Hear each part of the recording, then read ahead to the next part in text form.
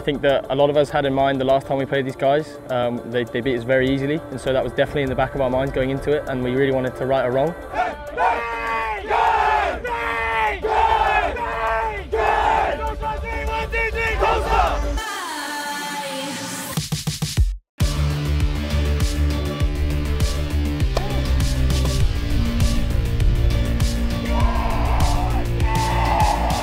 Match like this can go either way. After losing the doubles point, I mean, they had made their minds up that they were going to come out and compete, and that's when they're when they're like this. I mean, I think we're pretty tough to beat.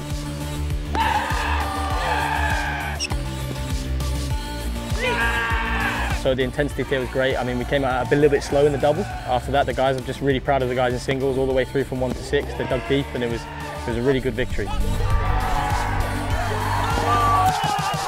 Yeah, very special. Uh, definitely memories that I'm going to have for a long time. I've seen these guys beat us twice, and so to be able to get one over them is great. And uh, yeah, it's just very special to be honest to celebrate with these guys as well.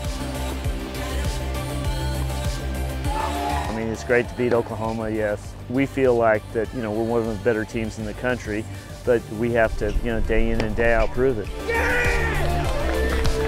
Uh, we need to take this momentum. We've got a few days off, which is good, but we need to remember the way we played today and really take this momentum going into the next matches. We have a week off and then we have a very busy week next week with three big matches, starting conference as well, two away. So we really need to take this momentum going forward into to end the season well.